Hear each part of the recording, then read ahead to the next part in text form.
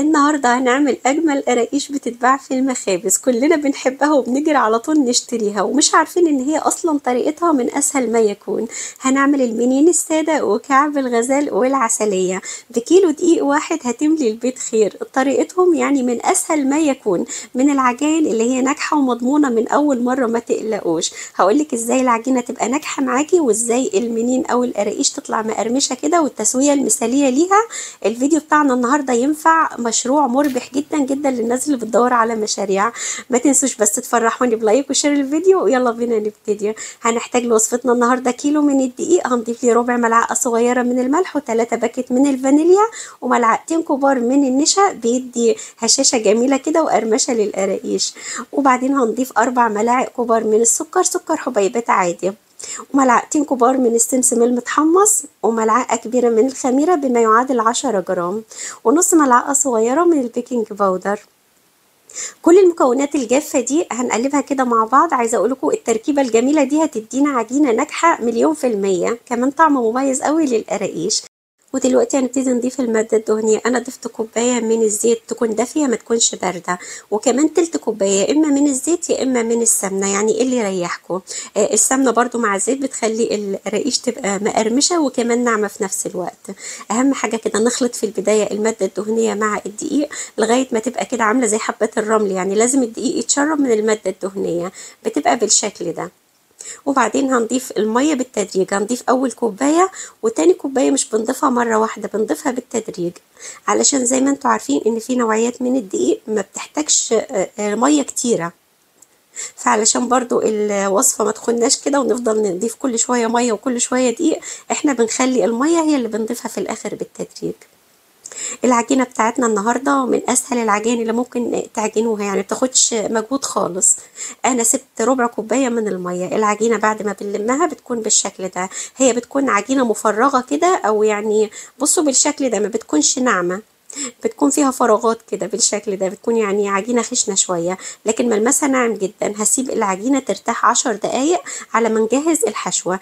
آه أنا جبت عجوة وبعدين ضفت ليها ملعقة من الزيت وبدلكها كده أو بعجنها بين إيديا. يعني قطعوها قطع صغيرة كده ودلكوها علشان تبقى طرية وناعمة معانا وإحنا بنستخدمها. هنبتدي دلوقتي نعملهم كده رول رفيع. يعني صوابع علشان يبقوا جاهزين معانا للحشوة. ما تخلوش الصوابع دي تخينة قوي يعني حجمها كبير علشان طعمها ما يغطيش على طعم العجينة اللذيذة بتاعتنا النهاردة لأن طعم العجينة دي فعلا مميز وجميل. وهنعمل برضو شكل تاني للحشوة. بنجيب كيس من أكياس التلاجة فتحته كده بالمقص وحطيت فيه العجوة وابتديت أفردها بالمردانة. عايزينها تبقى رفيعة قوي زي ورقة الكراسة ما تخلوهاش تخينة. هي بتكون سهلة جدا على فكرة. هقولكوا برضو على طريقة تالتة آه للحشوة. كده خلاص بقت جاهزة معايا هركنها على جنب وهنجيب العجينة وهنبتدي دلوقتي نعمل أول نوع معانا النهاردة وهو العسلية.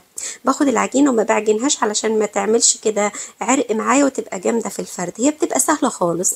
طالما العجينة ارتاحت عشر دقايق بتبقى سهلة معاكي وما بتغلبكيش نهائي. بنفردها على شكل مربع أو مستطيل وبنسوي طبعا الجناب يعني الحاجات اللي هي زيادة دي إحنا بنشيلها سواء بالسكينة أو بأي حاجة وبنرجع نسويها تاني.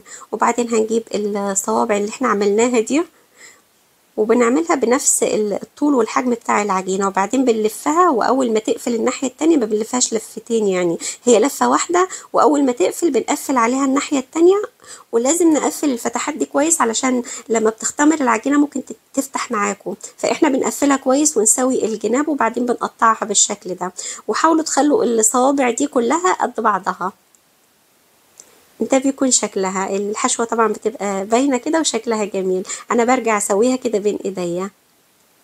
ودلوقتي هجيب طبق وهحط فيه كده حوالي تلت كوباية من المية وفيها ملعقتين كبار من العسل أو ملعقتين من السكر لو ما فيش عسل. بس هو العسل الأسود بيدي لون حلو قوي للمعجنات عموما يعني مش للقراقيش وبس. وبعدين بنزلها في في السمسم وإحنا ليه حطينا المية مع العسل؟ علشان دي بتخلي السمسم يمسك على القراقيش وما بينزلش منها لما تدخل الفرن وتستوي. يعني بيفضل السمسم كده ثابت فيهم على طول. شكلها لذيذ. بكمل كل الصوابع اللي عندي بنفس الطريقة. بنزلهم في في العسل بالمية وبعدين بنزلهم في السمسم وبعدين بضغط عليهم ضغطة بسيطة بإيدي. وده شكلهم في الصينية. أنا بدهن الصينية دهنة بسيطة جدا من الزيت. يعني ما تكتروش الزيت. كده كده العجينة فيها مادة دهنية. بكمل العجينة بنفس الطريقة كده بالظبط. وكده أنا خلصت أول نوع معانا النهاردة. تعالوا نعمل تاني نوع وهو كعب الغزال. بجيب عجينة برضو وبفردها. وبعدين بجيب ال- العجوة اللي أنا فردتها بين الكيس فاكرين وبعدين بقطع العجينة على قد مقاس ال- العجوة بالظبط. وبعدين هبتدي برضو أعملها رول بنلفها بالشكل ده ولفوها كويس. وكل لفة من دول بتخليها مورقة كده من جوه شكلها حلو. قفلوا آخر حتة دي بنقفلها كويس جدا وبعدين بنلفها كده آه، أو نرولها عشان تبقى إيه مترتبة وشكلها جميل. ما تخلوش ال- القطعة دي تخينة علشان بيكون شكلها حلو وهي صغيرة. بصوا هقول لكم برضو على طريقة تانية حلوة قوي للتقطيع. بننزلها في المية اللي هي بالعسل وبعدين في السمسم وبعدين بضغط عليها ضغطة بسيطة. بصوا الطريقة التالتة دي للعجوة. أنا أخدت شوية من العجوة دي حطيتهم في طاسة على النار.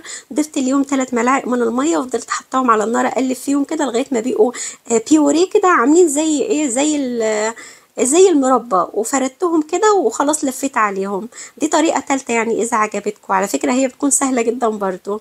وبرضو بنقفل على الحشوة وبعدين بنبتدي نقطعها. اقولكوا على طريقة حلوة قوي للتقطيع. عارفين الخيط اللي هو اللي إحنا بنخيط بيه؟ بصوا بنقطع بيه بيبقى شكله متساوي جدا جدا أحلى من السكينة. السكينة بحسها بتبوظ العجين بتلخبط الرسمة. لكن لما تمسكي الخيط كده وتقطعيه بالشكل ده الفكرة دي جاتني متأخر. يعني أنا مش عارفة إزاي كانت تايهة عني مع إن إحنا استخدمناها كتير. بصوا بتخلي الرسمة واضحة إزاي ومش متلخبطة. كده أنا خلصت آه، كعب الغزال والعسلية. لو حابين تسووهم في نفس الصينية بياخدوا نفس آه، الوقت. لكن المنين ما ينفعش نسويه معاهم في نفس الصينية. المينين دلوقتي هنعمله آخر حاجة فردنا العجينة والفردة دي بتكون سميكة شوية غير العسلية وغير كعب الغزال. علشان دي هنخليها قراقيش سادة كده من غير حشوة. بصوا السمك كده حلو قوي. ممكن تقطعوه بالقطاعة دي اللي إحنا بنعمل بيها المخلل أو ممكن بالسكينة عادي يعني مش هتفرق. بكمل العجينة كلها بنفس الشكل بيبقى شكلها جميل وحاولوا تخلوا الصوابع كلها قد بعض عشان بيبقى شكلها حلو ومتناسق. المنين ما ينفعش نحطه في نفس الصينية اللي بنحط فيها العسلية لازم نحطه في صينية لوحدها لأن فترة التسوية بتاعته بتكون أقل من فترة العسلية وكعب الغزال لأن هو بيكون مفرغ كده وخفيف وما فيهوش حشوة. ودلوقتي ركزوا معايا في التسوية. بنولع الفرن قبل ما بندخل فيها الصاجات دي بعشر دقايق. يعني لازم ندخلهم في فرن ساخن مسبقا. هنخلي الصاجات دي على أعلى رف في الفرن اللي هو الرف اللي تحت الشواية مش الرف اللي في النص. علشان تستوي براحتها من تحت كده وما تاخدش لون غامق. هندخل الصاجات دي على درجة حرارة 180 أول عشر دقايق. بعد عشر دقايق بنوطي درجة الحرارة على 160 علشان يقرمش كده ويبقى هش وخفيف. لو ما أخدش اللون الجميل اللي قدامكم ده ممكن ننزل الرف ونخليه في النص ونولع الشواية ونطفي الفرن. آه، بنولع الشواية مسافة دقيقة كده طبعا مع المتابعة. لو حابين المنين يكون طري ومش مقرمش هتدخلوا المنين على درجة حرارة 180 أول عشر دقايق وبعدين هتوطي الفرن على 160 هياخد معاكي برضو عشر دقايق وبعدين نطلعه من الفرن ونغطيه علشان يفضل محتفظ بطراوته. وصفتنا النهارده من أجمل الوصفات اللي ممكن تعملوها. يعني بكيلو دقيق واحد شوفوا يعني هتملوا البيت خير. عملنا ثلاث أنواع يعني الثلاثه في نظري أحلى من بعض. تخيلوا لو أنتوا اشتريتوا بقى الكمية دي من المخبز هتكون بكام؟ طعمه كمان أجمل بكتير من اللي إحنا بنشتريه. شايفين السمسم قد إيه يعني متماسك وما بينزلش خالص. عايزة أقول لكم طعمه وريحته رهيبة رهيبة. طول فترة التسوية الريحة كانت مفحفحة في البيت بشكل مش طبيعي. بتمنى من كل قلبي وصفتنا النهارده تكون عجبتكم. وافادتكم ما تنسوش تفرحوني ب like و share للفيديو. بحبكم جدا جدا.